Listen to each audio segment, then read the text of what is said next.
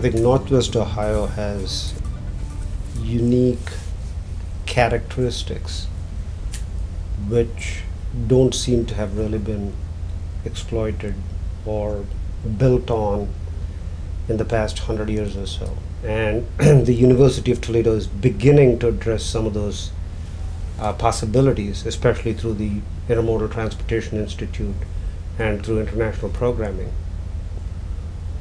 But a crisis has sort of visited uh, upon us in terms of the economic downturn, which has practically decimated the automotive industry and gutted its supply chain. That supply chain is essential not only for the economic well being of this region, including Northwest Ohio and Southeast Michigan, it is absolutely essential for job creation. It is essential even for national security. And the university has a role to play, and we are beginning to play that role through the creation of the North American Vehicular Supply Chain Institute, uh, which was fast tracked by the president, Lloyd Jacobs, through the Board of Trustees and became reality in September of last year.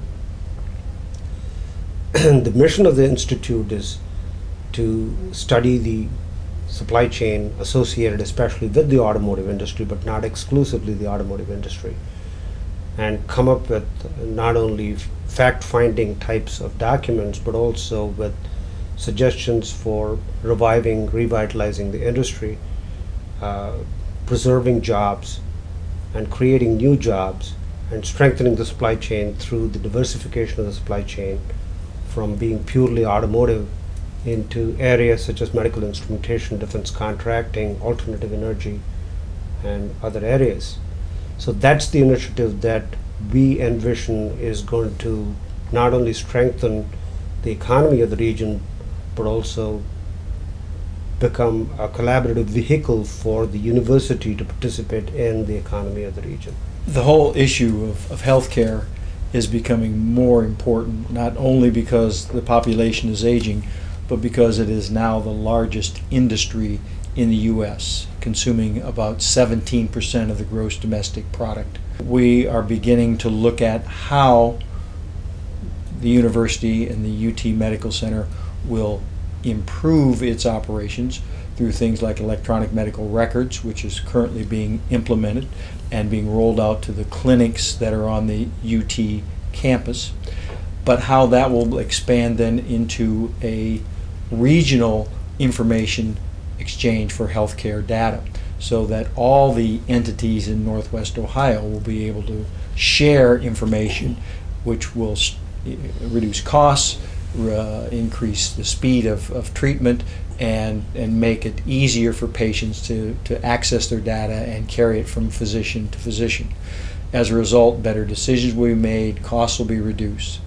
At the same time, it's necessary to look at, at other uh, aspects of, of hospitals and healthcare, including utilization of facilities and how you streamline and improve the processes while either increasing or at least not decreasing the quality of care.